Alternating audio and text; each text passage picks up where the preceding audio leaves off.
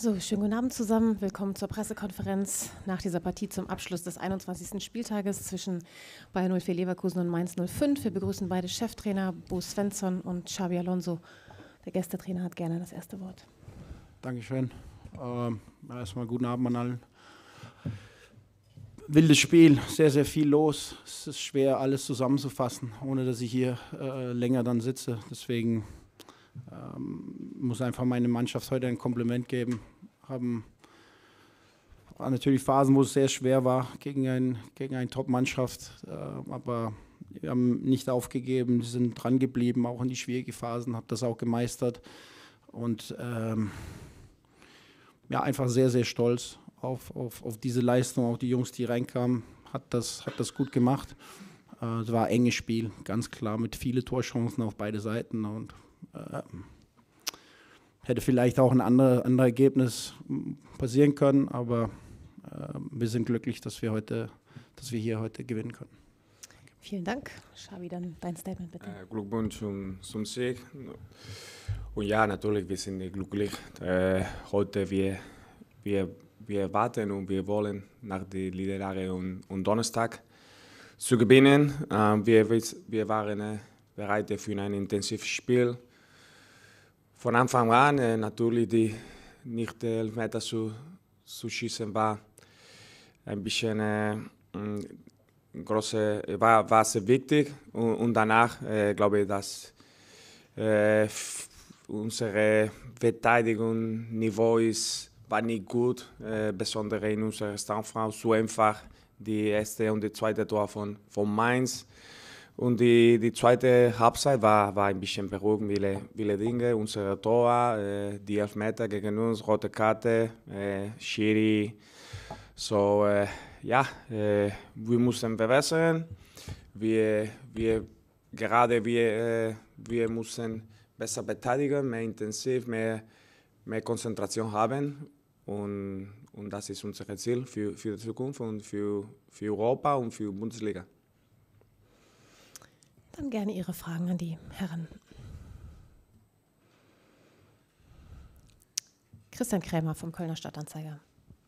Frage an Xabi Alonso. Hätten Sie rückblickend die Startelf äh, weniger massiv umgebaut, dass Sie Ihre Leistungsträger auf der Bank gelassen haben, also Florian Wirz und Jeremy Frimpong und Piero Hinkapi von Beginn an geschont hat, haben Sie? What, what uh, can you translate, okay. please? Yes, um, you in retropers retrospective you would ah, yeah, that's that's the typical question. Yeah, it's easy to say. Nach dem Ergebnis ist es einfach zu, zu sagen, ja, ich war, äh, I, I should have played with them.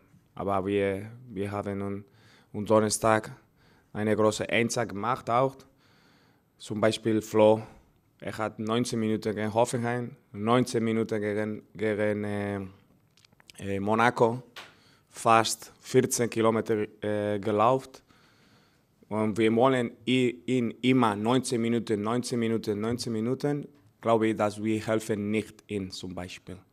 So es ist, wenn wir haben so viele Spiel, man muss entscheiden und, und ja, nach dem Spiel ist immer einfach zu, zu sagen, einfach zu fragen. Ja? Und, und das war nicht glaube ich, dass was mit der Mannschaft, dass wir, wir haben gespielt, wir können besser tun und das ist unsere Beantwortung. Äh, jedes Spiel bereit zu sein und jedes Spiel in, die, in diesem Niveau äh, gut zu spielen. Roland Zorn, bitte. Xavi, wie zufrieden waren Sie denn mit Patrick Schick? Der hat ja ein bisschen länger gespielt und machte ja so einen ganz dynamischen Eindruck, nicht nur wegen des Tors.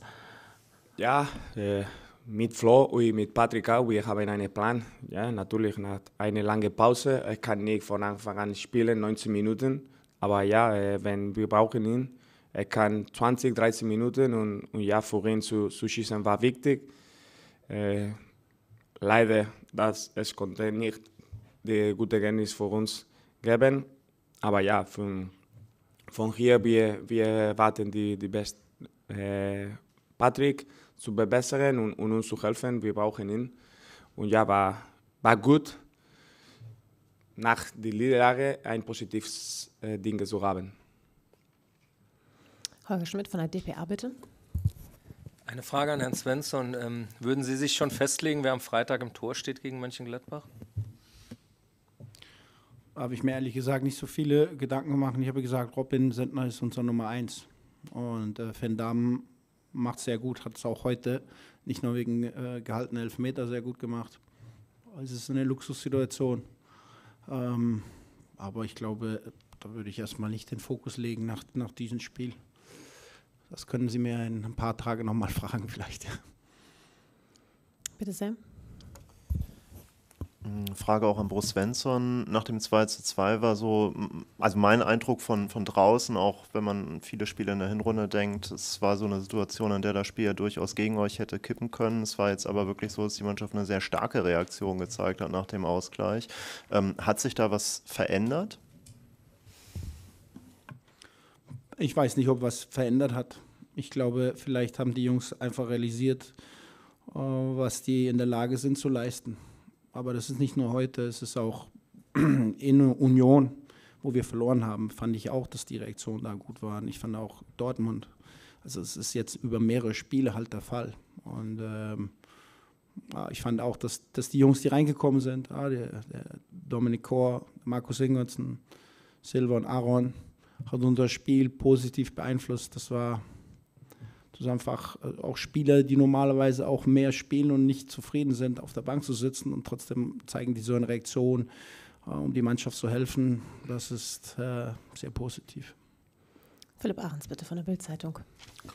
Herr Alonso, Sie haben mit Ihrer Mannschaft über Weihnachten und Neujahr ja fünf Spiele in Folge gewonnen.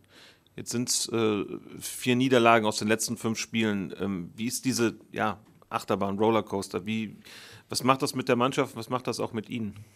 Ja, äh, gerade wir, wir können nicht Consistency finden und das ist, das ist ein großes Thema. Es ist nicht einfach zu, zu, äh, zu erreichen, weil wir spielen in, gegen sehr gute Gegner, heute Mainz, auch Monaco. Aber ja, es ist, es ist ein Ziel und es ist eine, sehr wichtig für uns, nicht immer die, äh, die ganze Spiel zu spielen, immer bereit zu sein und äh, nicht eine Rolle kosten.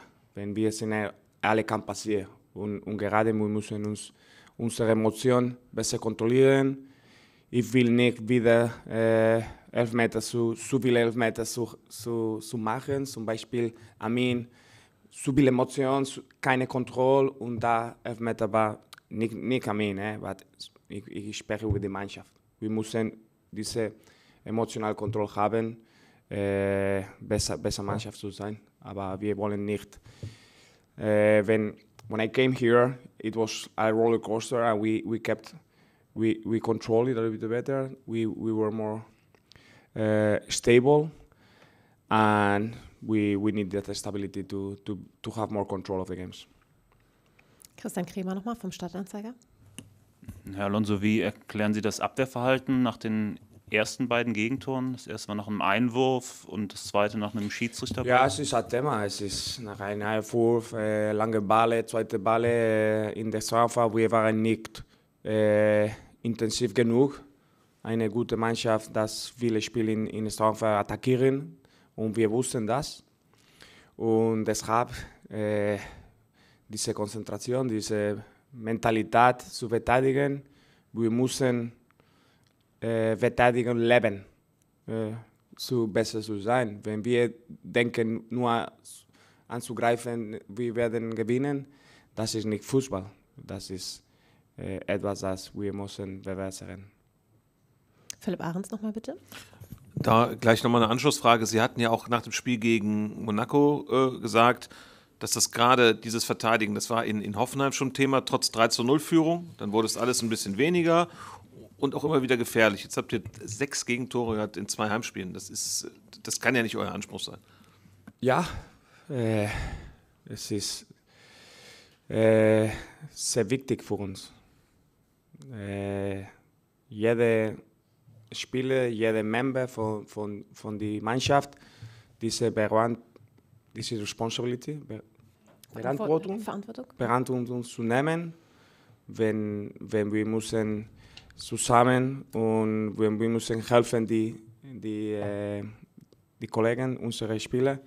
Und, und ja, äh, zum Beispiel gegen Hoffenheim war die letzten Minuten äh, nach 3-0, aber heute wir, de, das Spiel war sehr eng und in diesem Moment unsere Konzentration muss in dem höchsten Niveau sein, sehr kompetitiv zu sein. Und wenn das nicht passiert, äh, gegen Tor, gegen uns. Gibt es noch weitere Fragen? Frank Laschet, Radio Leverkusen. Eine Frage vielleicht an beide Trainer. Für die Zuschauer war es ein, glaube ich, komplett wildes Spiel. Das ist dann immer interessant für die Zuschauer. Ich glaube, als Trainer wünscht man sich sowas nicht. Äh, ist das richtig? Äh, wie sieht man das als Trainer auf der Bank, wenn es wirklich so ein vogelwildes Spiel ist da unten? Ja, vogelwildes Spiel, was heißt das? Ich fand, es war wild von, von vielen Aktionen, viele strittige Aktionen aber so wild, dass es nur hin und her ging und kein, keine Systematik zu erkennen war, was Leverkusen versucht zu machen und, und was wir versucht zu machen, das habe ich klar erkannt. Also das ist halt äh, Intensität dahin und, und das viele Szenen und strittige Szenen.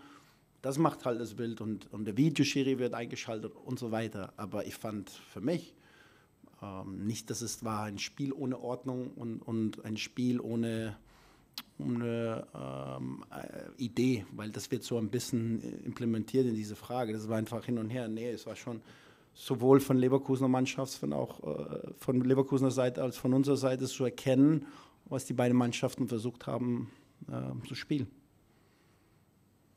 Gibt es noch weitere Fragen? Offenbar nicht. 27.000 äh, Zuschauer waren heute im Stadion. Dann gute Heimreise euch Danke. und äh, vielen Dank fürs Kommen. Einen schönen Restabend.